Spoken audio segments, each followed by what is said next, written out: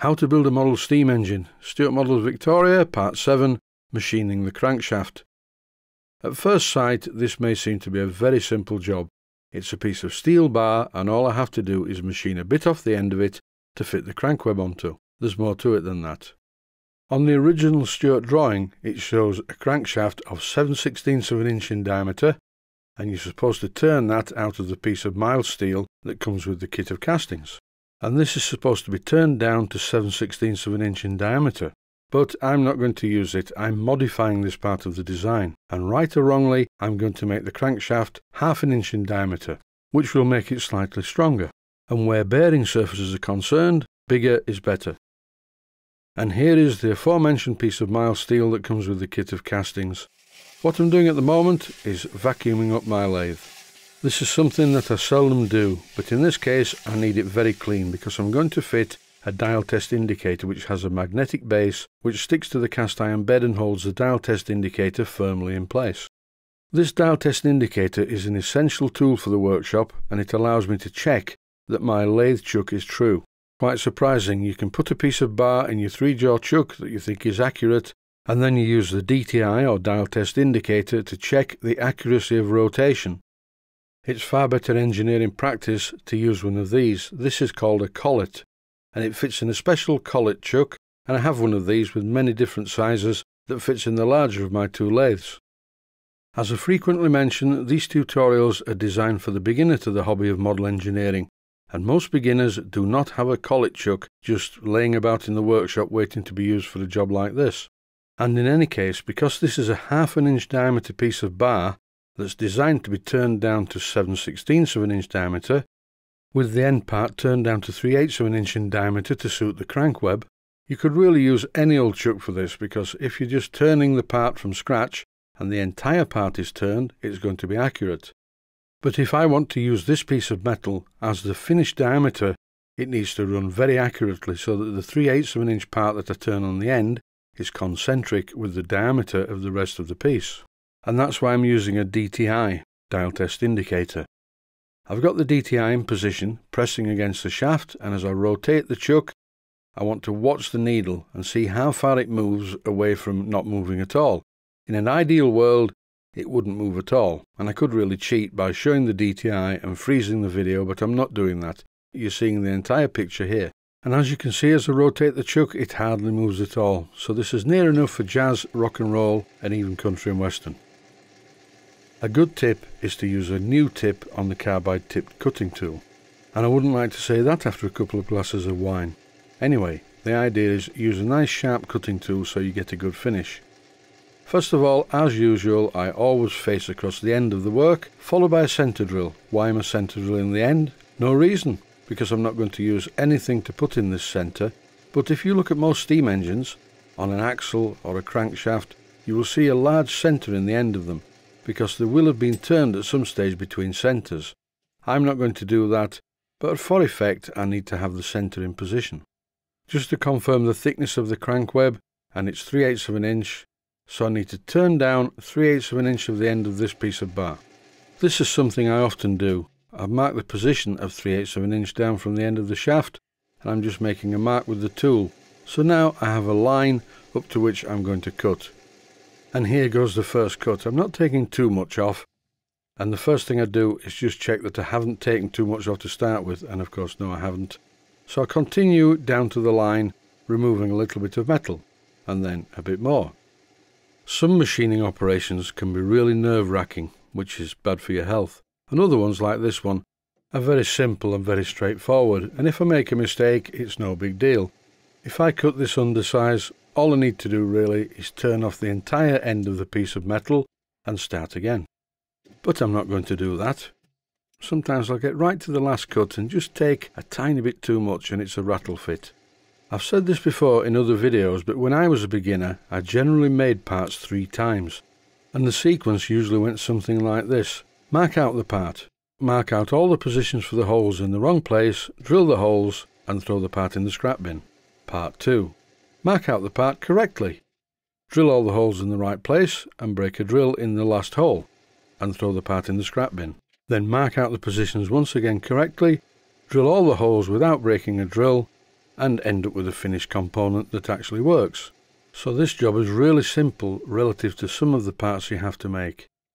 Some people watching this will be cringing as usual, and I'm sure they'll send me messages to tell me off about it. But I really am not an engineer that I keep telling you that. I'm not an engineer.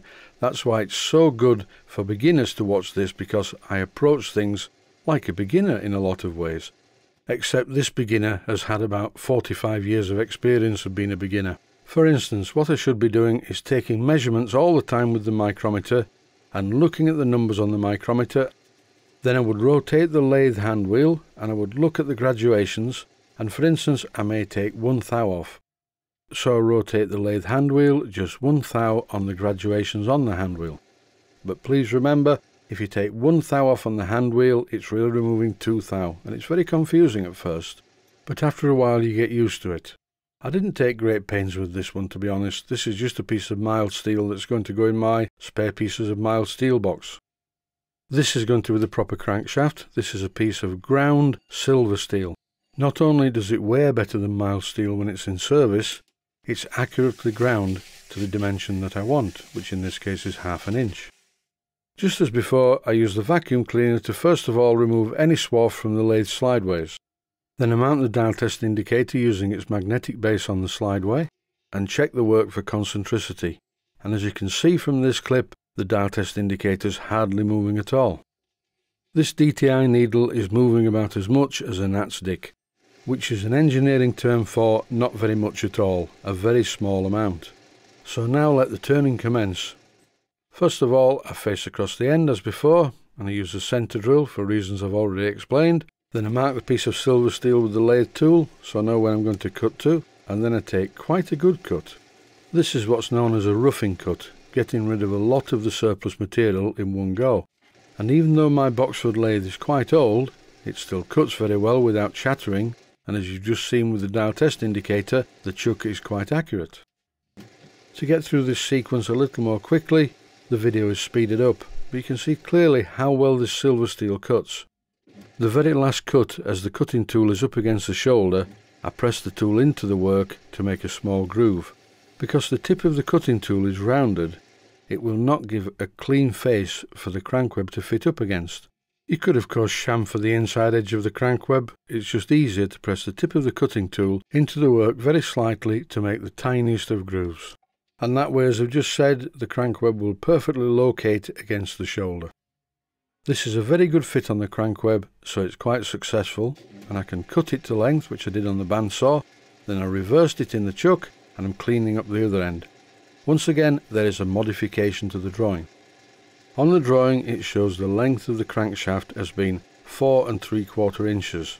It actually shows it as being 4 and 3 eighths up to the shoulder and a further 3 eighths which is 4 and 6 eighths which is 4 and 3 quarters and that's imperial for you. And what I'm doing at the moment is as usual facing across the end of the piece of bar and I'm going to use the centre drill once again to drill a centre in it for no reason other than it will look right. My modification is that the crankshaft I'm working on is five and a quarter inches long and there's a reason for this. I have a Stuart Models Victoria steam plant and the crankshaft on that is five inches long because on the end of it it has a water pump. So I thought well I may as well preempt this because maybe I'll fit a water pump to this I don't know.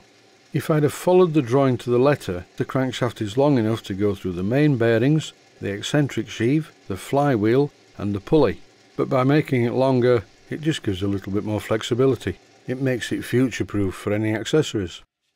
It's always worth remembering that a perfect 90 degree cut is razor sharp, so always remove the sharp edges, but make sure you don't get your hand caught in the chuck doing it this way. What have I managed to achieve doing this? Well, I think I've achieved a better, harder wearing crankshaft. You can see the mild steel because I've written mild steel on it, and you can see the silver steel because I wrote on that as well. That can go into the spares box. And here is the finished crankshaft, five and a quarter inches long. There's just one more important detail to look at, and you need to look at the full size article for this. Have a look at railway engine wheels, for instance, and the end of crankshafts. Generally speaking, the crankshaft or the axle protrudes ever so slightly, not a lot, just a tiny amount, and it just makes a world of difference. If it was flat, it wouldn't look as good.